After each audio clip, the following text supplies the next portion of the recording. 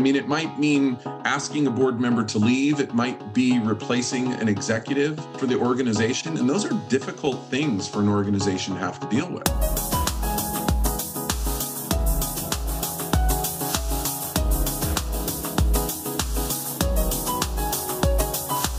I'm Rich Frazier. And I'm Russ Fanoff. Welcome to the Nonprofit Fundraising Exchange, a podcast from IPM Advancement. We believe strong nonprofits can change the world, and our goal with each episode is to bring you insightful conversations with thought leaders from the nonprofit sector.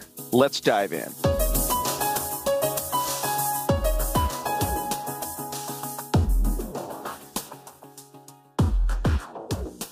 Welcome, listeners, to another episode of the Nonprofit Fundraising Exchange. Today, we're talking about the importance of building and engaging a high performing board. I'm Rich Frazier. My good friend and co host Russ Fanoff is under the weather, so I'm flying solo today. We're talking about high performing boards of directors for nonprofit organizations. And a good board of directors is essential to the health and success of any nonprofit. They ensure that the organization's mission is being carried out effectively and efficiently. They also provide guidance and oversight to ensure that the nonprofit is operating according to its own policies and procedures. Now, for those of us who have been around nonprofits for a while, we know that board members can contribute to a nonprofit success in several ways, including sharing their experience, raising money, attracting talent, and being ambassadors to its mission. today, we're going to be discussing tips for finding good board members and keeping them engaged for the duration of their service. Joining us in this conversation today are Nate Rhoton and Rick McCartney. Nate, Rick, could you please introduce yourselves? Tell us a little bit about your experience serving on or working with your nonprofit boards. And before you do that, let me just share with our audience that you are both with the organization 1 in 10 right here in Phoenix. And 1 in 10 is a client of IPM Advancement. Thank you, Rich. Uh, I'm Nate Rhoton, the CEO of 1 in 10. I've been with the organization for seven and a half years. This is my actually first nonprofit uh, position. I come from a background in the for profit space but have served on various boards and commissions throughout the years.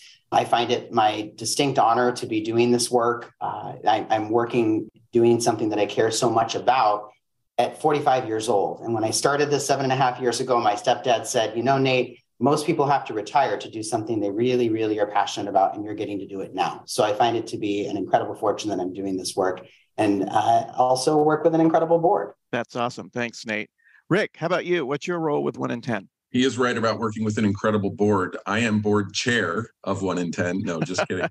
I have been involved with boards for the past 25 years. All have been relative to youth, um, in our case, LGBTQ youth at risk. And I just have been honored to be a part of the community in this way. One in 10 uh, is such an important organization, and we've watched it over the last seven years that I've been on the board um, just climb year over year into an amazing organization with its ups and downs. So it's been an incredible experience. Terrific. And thank you. Thank you for your service, Rick. And thanks for the work that 1 in 10 does. Let's start with finding board members. And I'm just, uh, I'll start with you, Rick. How do you find the right people for the board? You know, I mean, the bottom line is you really have to know who you're looking for and what you are as an organization. Certainly, um, any organization that doesn't have that sense is obviously going to be a very young organization. And in often cases, that's more of an operating board as compared to a governing board. Both boards are very valuable for organizations. So the organization really has to determine what type of board are they looking for to determine those board members. An operating board is going to be more of a hands on a governing board is going to be more strategic thinking and you know kind of higher level thinking. Certainly it doesn't matter how new the organization is but in finding those board members you want people to fit into place to really help you you know advise and govern or be involved in that operation of the organization. You know seeking those people out uh, is not always an easy thing to do. There is the whole process of onboarding these people once you find them but trying to figure out uh, who those individuals might be that are ideal. You know, one of the best ways we've done that and really looked at that solid board member is somebody certainly that has passion for the organization, but has also demonstrated a great effort in getting involved. you know, volunteering, being on a committee within the organization, being connected to one or two of the events or tasks or, you know, needs, asks that the organization has of the community, those people who fall into line to help answer those questions for an organization, sometimes even donors, can be ideal candidates uh, for board membership um, and stewardship. So, how proactive do you get in terms of filling board seats and not just with warm bodies, but with bodies that are needed to fill certain roles. So, I mean, how do you identify what characteristics and skill sets you need to fill? Um, I think it's something that you focus on internally, certainly. Um, I'm real big on building that plan. Um, there are great resources that are out there that can help you sort of identify an initial plan but then share it with the uh, the other people that are on the board currently. Um, it might be a governance committee. Oftentimes, the governance committee is responsible for vetting and and onboarding new board members. So, seeking out um, what those attributes might be, we do a commitment letter. So we're very clear um, in writing, as we like to do, so that everybody really has the same level of communication and understanding of expectations. You know what the commitment is as a board member what we expect them to attend, how we expect them to um, really engage um, in meetings, uh, certainly representative of different elements that the organization is sponsoring or producing, sometimes even programming.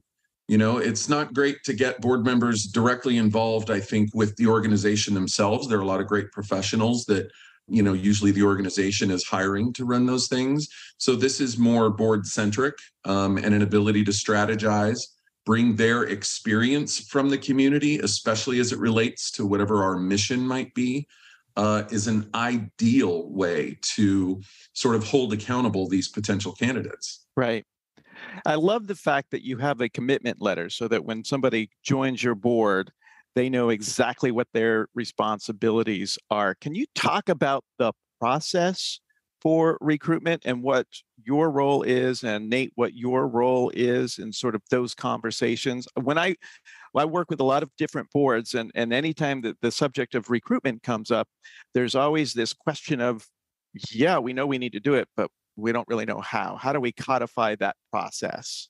Sure thanks Rich. I, I, think one thing to add before we talk about like codifying the process of recruitment is that we also I think it's important. I've seen this done not or not I've seen it done not so well in other boards.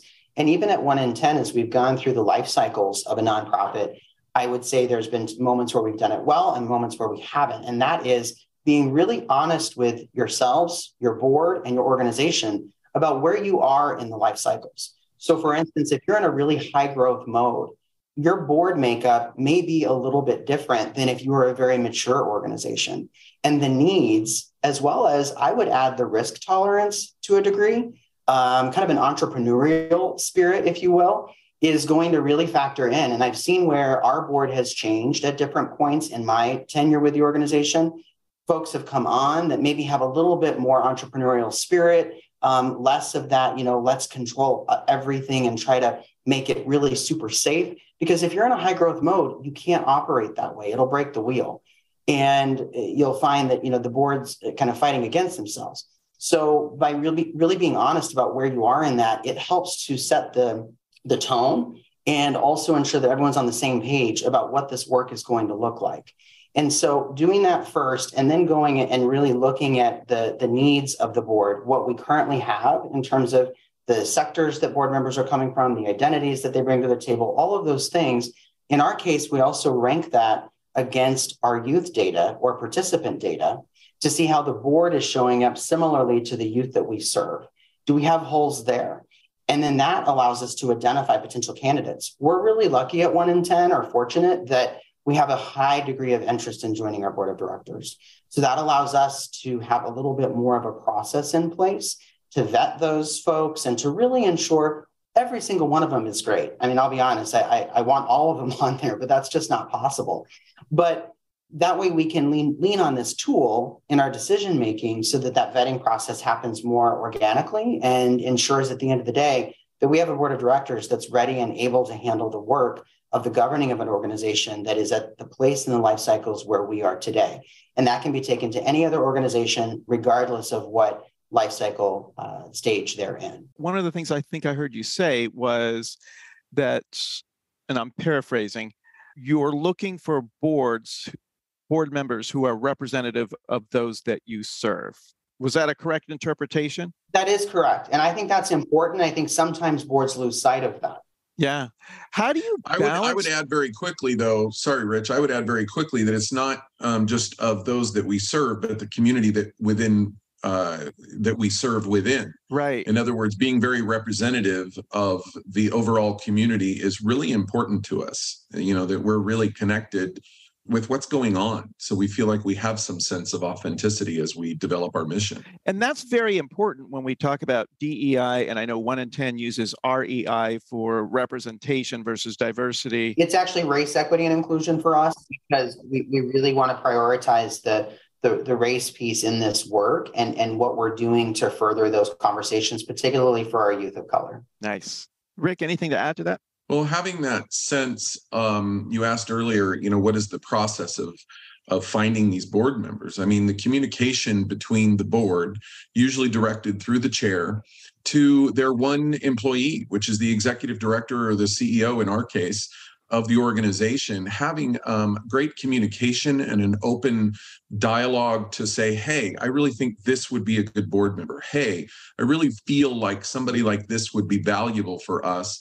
You know nate comes to me often and to other board members as well to discuss you know some of the assets that, some of these community members have and how amazing they would be uh, as a board member for the organization so I think it's, you know, really about all of us as board members trying to find and identify those people within the community that can empower um, the organization, but specifically being very open to that executive director or CEO who has their opinion. I mean, on a daily basis, you know, they're paid to function and run that organization. And any board that feels like that input or that direct authentic communication and honesty and transparency isn't one of the most incredible things or important things that um, you should have in this dynamic is is going to fail. Yeah. Um, it's just been really easy for us to have Nate say, look, you know, I met with this donor or I met with this individual or we're talking about programming with XYZ group at a major you know organization elsewhere and and say hey this is something that's very valuable for us. We listen and we focus on it and we really look at it. I'm going to ask one more question about recruitment and then i want to move on.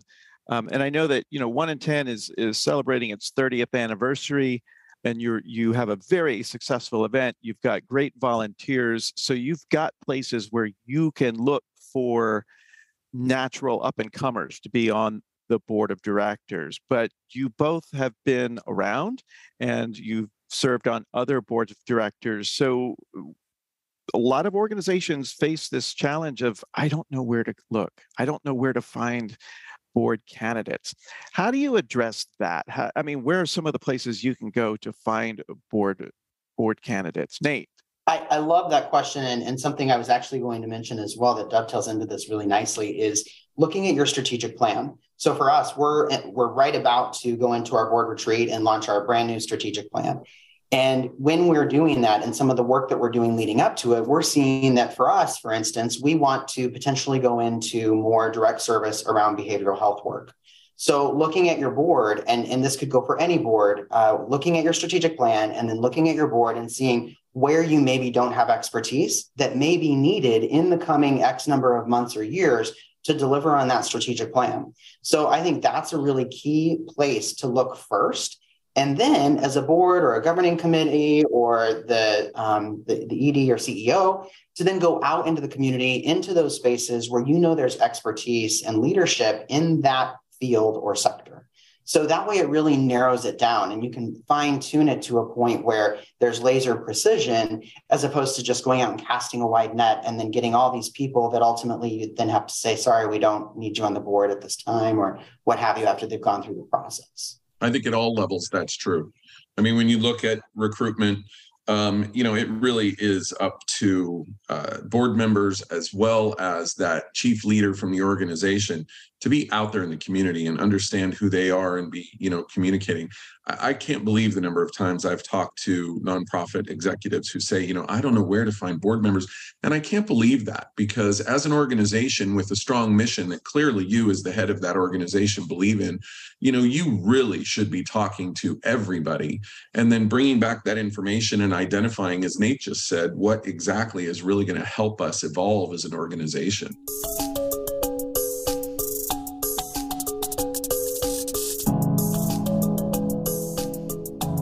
Hi, this is Curtis Schmidt, producer of the Nonprofit Fundraising Exchange. If you're a nonprofit professional who has questions about your program, or maybe you feel like you've taken your advocacy, fundraising, or membership effort as far as you can and you need some fresh ideas, then we have a special offer for you today. NPFX podcast listeners can get a free 30 minute consultation with IPM Advancement, no strings attached, when you go to ipmadvancement.com forward slash free. Just enter a few details and an IPM team member will contact you to follow up. It's that easy. That website again is ipmadvancement.com forward slash free. Thanks for listening, and we hope to talk to you soon. Now let's return to the episode.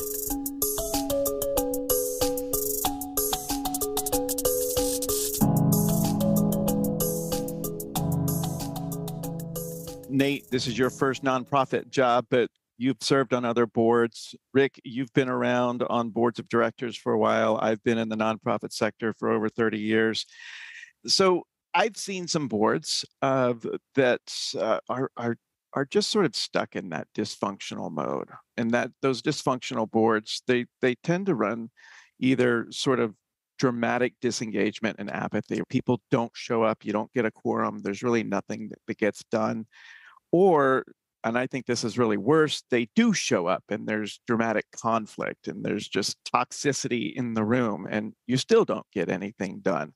Have you seen that and how do you handle that? I, I have a perfect example of this of a board that I served on some, I, I guess maybe 12 or 15 years ago, where I was uh, being vetted to join the board and the amount of information they gave me was not enough for me to make a really great decision about joining. I knew that after the fact.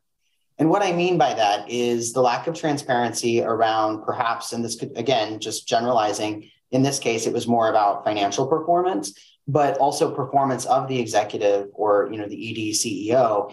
And I think by being transparent about that, you're going to attract talent that's going to help to get in and fix some of the issues because it can actually excite people yeah. to be a part of that, as, as difficult as the work can be. And in my case, uh, my, a friend of mine that was serving on the board and I ended up becoming co chairs of the board really because we wanted to fix these issues that we were blind to during the onboarding process became aware of like a credit line that wasn't being reported on the financials that we didn't realize we even had debt and then also performance issues with the ED that ultimately meant we had to terminate that individual. So that's that's significant work for a volunteer to do. It is. And and not being transparent about that from the get-go doesn't equip someone with the, the the knowledge and can mean that you have board members that either disengage or resign prematurely because this is way more than they were wanting to bite off. Uh, so I think that's really important because every organization has opportunities for improvement. By being honest about those from the get go, you're going to attract talent that's going to help to work on those issues. And if you hide it, it's just going to backfire. And not making it about you as the individual board member or you as the executive director or CEO of the organization, but making about it about the organization. I say all the time, it's about the good of the child when you're, you know, when you've got the privilege of serving or even being paid to run one of these organizations. I mean, as Nate says, the transparency and really kind of being proactive in knowing what you want as a board member, bringing them on board so that there's that communication. But if you've got dysfunction, I mean, I think anybody that's been on a board that has dealt with any level of dysfunction knows how difficult it is to correct for that. I mean, it really is. I mean, it might mean asking a board member to leave, it might be replacing an executive uh, for the organization. And those are difficult things for an organization to have to deal with. So, knowing um, your onboarding process, um, knowing your, you know, as Nate said, kind of trans uh, transparency when it comes to who you are as an organization is just going to be it's so worth it to do that kind of work as you bring these people in um, you know hiding anything is just going to be suicide for these organizations. It's a lot of work and you're nate was right. It's it's volunteers that are on the boards for these nonprofits. And to have that kind of work i can tell you oftentimes i've been on a couple of boards where leadership is like you know what? This is not my job to do this full time this is a lot of work. So you really have to be sure you've got the right leadership. Yeah, and the, and the takeaway here is just being transparent. Let's identify what the issues are and be willing to have those crucial conversations, whether it's a crucial conversation with the executive leadership of the organization or or the crucial conversation with other board members who might be the problem children in the room. Can we go back to the conversation about representation? Because I'm really curious about your process for finding the board members who are representative of community that you serve within and those that you serve. What can you talk a little bit more about that and how you find those uh, those individuals who are representative? Nate. Sure. A great example of this is in our last board recruitment. We identified that we didn't have sufficient representation from the trans community. And we have a significant percentage of youth that we serve at 1 in 10 that identify as trans, non binary, gender fluid. And so looking at that, again, we're ranking it against participant data and, say, and seeing that we have this hole. Uh, we went out and did specific outreach to communities of to trans communities, to organizations serving trans individuals, to um, some of our trans supporters, past trans identified board members. And, and that was definitely helpful. I think, though, at the end of the day, you can do all the outreach you want, but you also have to look at, you know, what are the asks of the organization, and particularly as you're looking to uh, invite more folks from various marginalized communities, how have boards of directors historically not been friendly to those identities? and alienating to them to the point where they wouldn't even look to serve on them. And it could be about the give get. It could be about the overall makeup of the board. It could be about, you know, different communities tend to work more than one job. And so trying to be on a board that meets in the evenings may be prohibitive. Yeah. Um, so you really have to look at all of those things and even ask potential board members that that ultimately don't end up applying you know, why is it that you decided to pass on applying for one in 10? What, what is it about our board or our structure or, or what have you that precluded you from doing so? That's a really good insight. Yeah. Rick. I think also uh, a, a really strong plan for communicating that. Our governance board uh, or committee really speaks to these issues on a regular basis. We look at a chart of who our board members are um, and make determinations where we might see holes or different um, areas that we're just not very strong and we really should be as a commitment to honoring the representation of the community and certainly those that we serve.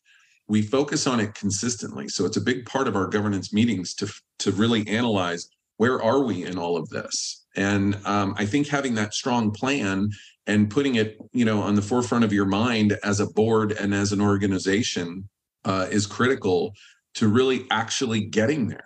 And it does take time. It's not like all of a sudden you can identify eight people that can fill all the holes. It, that that just isn't a valuable process. But what is is discussing it um, having great communication with the organization as to where they see holes or where their needs they feel are not being met um, from an advisory standpoint, which is really at the end of the day what the board is there for.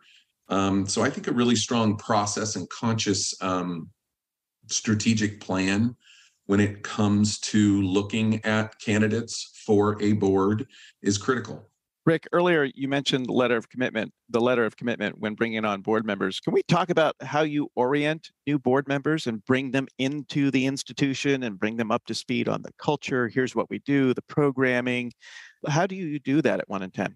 It's a very um, conscious process that I will say in the beginning of my tenure, anyway, we did not have a very good onboarding process. And we noticed that we didn't because we would start speaking about a program or something that we were up to, and new board members wouldn't be totally privy to what it is we were discussing. And how can we get great advice from a board member if they're not completely connected to the organization? So we created a booklet Um, now it's electronic, where um, all of the information uh, is available. We ask them to go through a two hour orientation.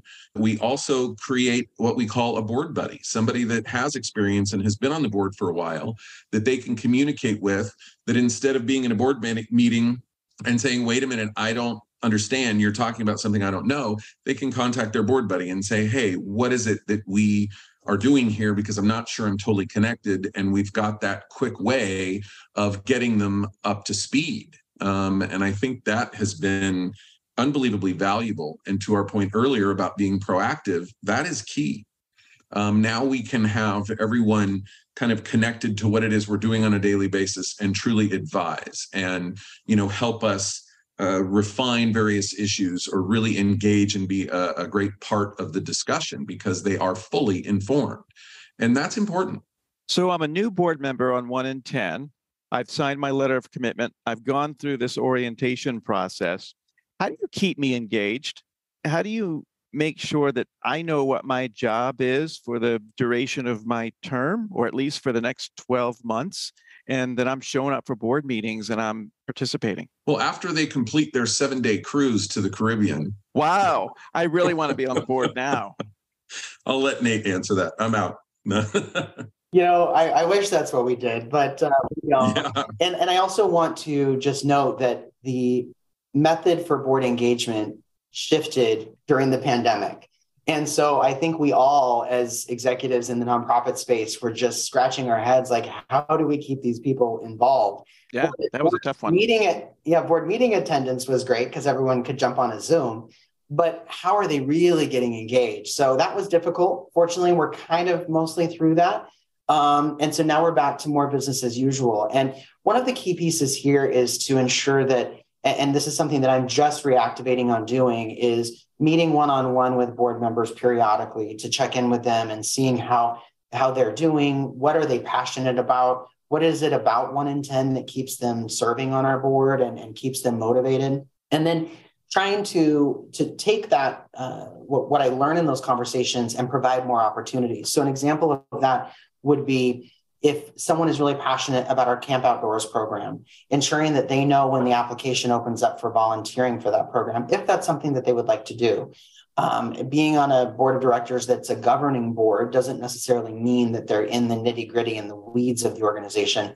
But I think as many experiences as we can offer them that really help to illustrate the impact of our programs is going to be really critical in ensuring that it, they continue to get their cup filled and we're not constantly draining it by just board meetings. Right. Um, and, and, that's all easier said than done. Believe me, I I am not perfect at it, and it is a lot of work, um, particularly if you have a larger board. But it is a critical piece to ensuring that they feel engaged. And we've put that under the charge of the executive committee of the board. At the end of the day, the board meeting is the board's meeting.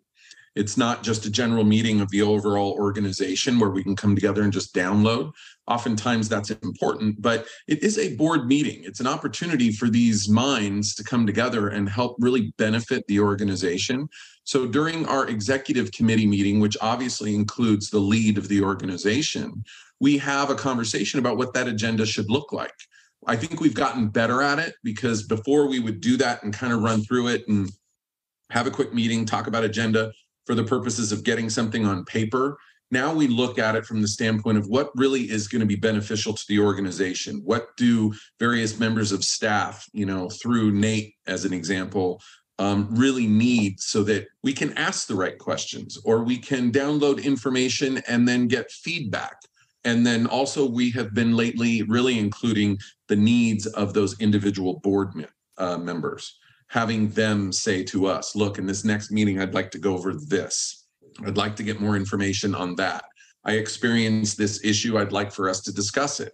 We want to be really open to that kind of stuff because at the end of the day, it makes us better. And hopefully, you know, the organization sees great value instead of weight in their board of advisors who can come in. I mean, I own a, a, major company, a media company, and I don't have a huge board of advisors. I would love on a monthly basis to be able to go to a group and say, hey, here's what we're doing you know how can we do this better who has experience and knowledge to help me at the end of the day in my case profit more in the at the end of the day for a nonprofit um, be more effective when it comes to the mission or raising money those kinds of things So it's an important thing to keep them engaged. Yeah, and and something that you said really resonated with me is that you're you're you're actually getting feedback from the executive committee and board members on what goes onto the agenda, and I think that's really important. And Nate, what something that you said was making sure we're filling that cup. And and and I know from my experience as an executive director and um, as board member and board chair for a couple of different boards in the past.